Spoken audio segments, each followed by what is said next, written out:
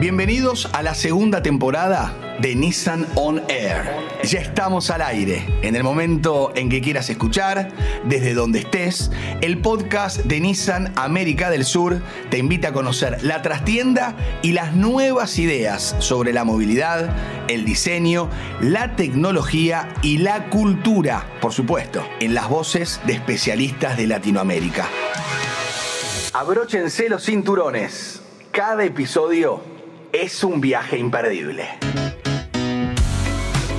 El avance de la tecnología en la actividad productiva está cambiando la forma de trabajar y competir en varios rubros. En un sector tan exigente como es la industria automotriz, la optimización de los procesos para conseguir una mayor competitividad es clave.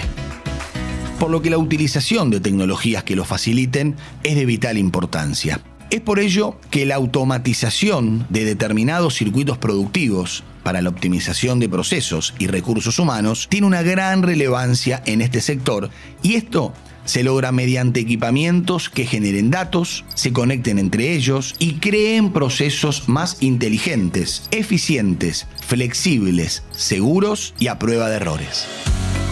Para profundizar sobre el tema, en este capítulo de Nissan On Air lo invitamos a Martín Delfrade, director industrial de Nissan Argentina. Bienvenido Martín, un placer que estés en Nissan On Air. Te pido te presentes antes de comenzar nuestra conversación. Hola Maxi, sí, un gusto estar en comunicación a través de Nissan On Air. Les cuento un poco de mí entonces. Soy director de producción de Nissan Argentina desde abril de 2020. Yo tengo 52 años, soy ingeniero químico de la Universidad Tecnológica Nacional y tengo un posgrado en Administración de Empresas de la Universidad Católica de Córdoba. Pueden apreciar entonces que soy cordobés. Tengo una experiencia de casi 30 años en la industria automotriz. La mayor parte de ese tiempo aquí en Fábrica Santa Isabel en Córdoba, en distintos tipos de funciones como producción, ingeniería y calidad. Y además tengo la posibilidad de haber trabajado durante un par de años en Francia y en Brasil. Qué bueno, ¿eh? qué, qué buen currículum y qué interesante para meternos de lleno en esta charla. Creo que podemos comenzar por una pregunta sencilla que nos va a poder permitir comprender mejor el tema. ¿Qué significa esta revolución tecnológica e industrial? Ok, déjame ver si yo puedo hacerlo sencillo. Bueno, a nivel mundial la industria está atravesando esta revolución tecnológica, lo que conocemos hoy bajo el concepto de industria 4.0 y se refiere a una nueva manera de producir. Esta manera de producir a través de la adopción de tecnología mediante soluciones enfocadas en la interconectividad, la automatización y los datos en tiempo real. La transformación abarca todos los sectores de la empresa, desde los sectores de producción y de servicios hasta a toda la cadena de valor. Es decir, la tecnología se aplica tanto a los procesos de elaboración, a las prestaciones de los productos, a la gestión de la empresa y a las relaciones con clientes y proveedores. En general, cada empresa tiene un propio esquema de transformación mediante la incorporación gradual de distintos componentes tecnológicos. Estos componentes tecnológicos pueden estar referidos a la inteligencia artificial, a la Internet de las Cosas, a la robótica o la automatización, a la impresión en 3D o a temas de ciberseguridad. ¿Y cómo afecta a la industria automotriz? A nivel de la industria automotriz, y más concretamente ligado a los procesos de producción, los conceptos más desarrollados son la automatización, mediante la incorporación de robots en los puestos de trabajo. Actualmente se destacan los robots de tipo colaborativo de interacción con las personas. Otro de mm, los procesos ligados es la digitalización de los puestos de trabajo, o lo que aquí conocemos como Digital Workstation. Esto nos permite que los supervisores de producción tengan acceso en tiempo real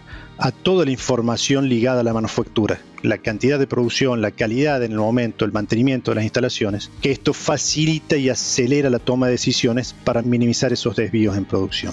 Y la tercera eh, pata de esta actividad está ligada a la digitalización de la logística del aprovisionamiento, mediante sistemas interconectados con los proveedores que optimizan stocks, o a través de los sistemas industriales de ayuda a los operadores para la selección y el secuenciado de piezas en cada uno de los productos a fabricar. Bueno, qué interesante lo que nos contás y con qué facilidad nos estás transmitiendo conceptos a los que no estamos tan empapados, ¿no? Del mundo de la tecnología, digitalización. Ahora, ¿en qué posición nos encontramos actualmente en América Latina y hacia dónde vamos? En general se están dando muchos avances, pero aún no podemos decir que hay un estado de madurez en la región.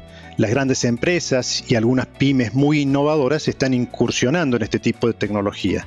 Yo diría que todavía nos encontramos en el inicio de una curva de adopción. Como explicamos en los puntos anteriores, el avance tecnológico abarca muchos aspectos y las empresas avanzan sobre proyectos transformadores que abarcan uno o alguno de estos aspectos. En algunos casos, se decidió comenzar directamente por el modelo productivo, mediante la automatización, la robotización, el mantenimiento predictivo, y en otros a través de la optimización de procesos de logística y distribución. Otro aspecto que es muy interesante para la región es la adopción de medidas para tener una mejor eficiencia energética y que eso es una oportunidad en cualquier planta industrial. Bueno, el sector continúa el cambio en sus procesos y como nos contás y estamos viendo, obviamente avanza hacia la digitalización. ¿Cómo se preparan las compañías fabricantes como Nissan para avanzar en este aspecto? Ok, en este caso voy a comentarte cómo se ha preparado Nissan Argentina. Desde 2015, la fábrica de Nissan en Santa Isabel, en Córdoba, vivió un profundo proceso de transformación tanto a nivel tecnológico como a nivel cultural, y hoy está a nivel de las mejores plantas de la Alianza del mundo. Esta preparación en 2015 nos permitió iniciar la producción de Nissan Frontier en 2018 con los mejores estándares de calidad. Para hacerlo, la automotriz incorporó las últimas tecnologías en su proceso productivo, con más de 120 robots sumados en los últimos años, 350 carros guiados de manera automatizada, tablets en los puestos de trabajo de los operadores, formaciones con realidad virtual e impresoras 3D. Esta tecnología nos otorga una capacidad de producción de 25.000 pickups por año por turno de producción siguiendo los exigentes estándares de calidad de Nissan. Bueno, y profundizando más aún, ¿qué implica el proceso de digitalización en una terminal? En Planta Santa Isabel se llevan a cabo diversas actividades en este aspecto el control de las operaciones a través de datos producidos en tiempo real, los colaboradores conectados, la conformación de una cadena de suministro flexible y el sistema de mantenimiento de toda la tecnología mediante el mantenimiento predictivo y la automatización de los procesos de producción. Una de las ventajas que ofrecen estas tecnologías es el monitoreo en tiempo real para diferentes tipos de máquinas que se utilizan en los procesos de producción. ¿Cuáles fueron los principales beneficios al aplicarlas? El monitoreo en tiempo real tiene múltiples beneficios en referencia a calidad, costo y tiempos operativos. Por ejemplo, para el mantenimiento, los sistemas de monitoreo de medios de producción nos brindan información instantánea del funcionamiento de los mismos. Respecto a la calidad, menciono dos ítems muy destacados de la digitalización. El primero está referido a las herramientas dedicadas a los ajustes de piezas. La utilización de herramientas de apriete controlado y monitoreado digitalmente nos permite asegurar que el 100% de las fijaciones de seguridad y reglamentación respetan las condiciones de diseño del producto. El segundo está referido a la digitalización de los puestos de trabajo. La información en tiempo real que dispone el personal de producción permite llevar todo tipo de información de manera instantánea hasta cada uno de los puntos de manufactura, optimizando de esta manera la reactividad y las mejoras en términos de calidad y productividad de toda la cadena de producción. De la misma manera, las estaciones automatizadas en los procesos de producción nos permiten garantizar la uniformidad de todos los vehículos. Además, las mejoras que quieran realizarse se ejecutan de manera precisa e inmediata para todos los turnos de producción. Estamos charlando con Martín Delfrade, ¿eh? director de producción de Nissan Argentina. Martín, ¿cómo se conforman los equipos de profesionales para la implementación de las iniciativas de industria más robotizada y tecnológica? Los equipos son multidisciplinarios e están integrados por personas de todas las áreas de la empresa. Estos equipos trabajan de forma integrada con proveedores de tecnología para adoptar las mejores soluciones para cada caso y cada necesidad.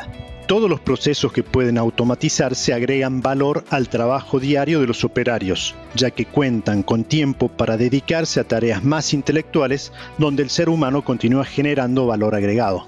Muy interesante, Martín, y muchas gracias. Definitivamente hay grandes avances en los procesos de fabricación de los vehículos y a la vez tenemos aún un largo camino por recorrer, en el que la tecnología y los equipos de profesionales se complementan permanentemente. Gracias a ustedes por brindarnos esta oportunidad de comunicarnos y de mostrar un poquito de todo lo que hacemos día a día.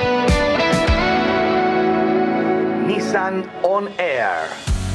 Ahora sí, Llegamos al final de este episodio. Los invitamos a seguir el podcast Nissan On Air para escuchar nuevas entrevistas y diversos puntos de vista sobre los temas de actualidad. ¿Qué deben hacer?